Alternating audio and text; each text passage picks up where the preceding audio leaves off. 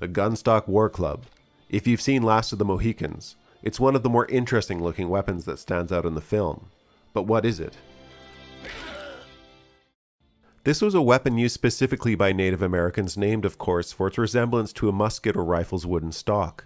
These weapons have been found throughout northeastern America, amongst the eastern woodland and plains tribes, such as the Lakota, during the 17th, 18th, and 19th centuries.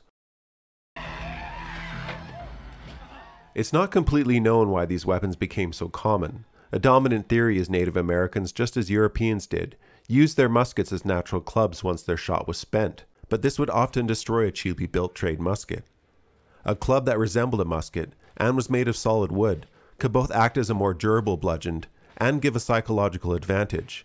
An enemy from afar might think a man was armed with a musket, or even multiple muskets, and not just a club. These clubs may have also evolved completely on their own, with no influence from Europeans. They do, after all, make for an efficient weapon outside their resemblance to a musket. These clubs are often made of hard woods like maple, ash, oak, or hickory, or even whalebone was possible. Their weight varied, but with a swing force focused onto a small striking edge, they were extremely lethal. Blades could be flint, horn, or iron. However they came to be, they were deadly and sometimes ornate beautiful weapons. They can still be seen today as part of regalia during Native American ceremonies and powwows. It's also used by practitioners of Okichitaw, a martial arts based on Assiniboine and Plains Cree Indian fighting techniques.